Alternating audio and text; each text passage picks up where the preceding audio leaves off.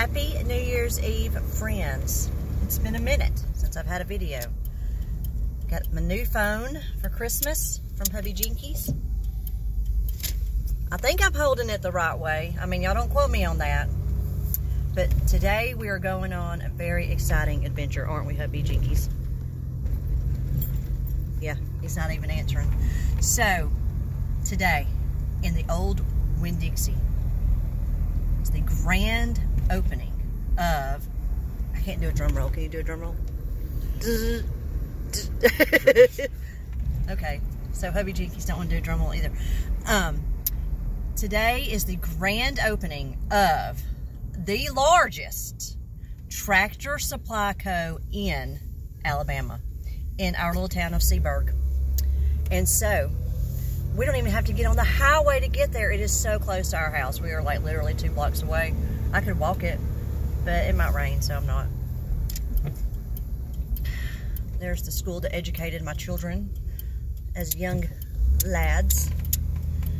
So, I'm just wondering, it is, what time is it? 10 something? I don't even know what time it is. How many people are going to be at the grand opening of the Tractor Supply Co. The largest Tractor Supply Co. in Alabama. I mean, this is a big deal, folks.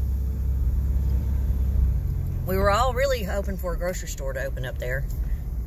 But I reckon the Tractor Supply Co. will do. Oh, my word. The ribbon cutting ceremony is next weekend. There it is, the Tractor Supply Co. That's why I don't sing, y'all. I feel like this is like a 9 out of 10. I feel like the only way this could be better is if I could have drove up in here on a tractor or rode up on a tractor. You, I guess either one will be right. So, anywho, we are here at the grand opening of the largest tractor supply co in Alabama. And I guess I'll just leave a little note in the comment how it was. Y'all have a great day and a happy new year.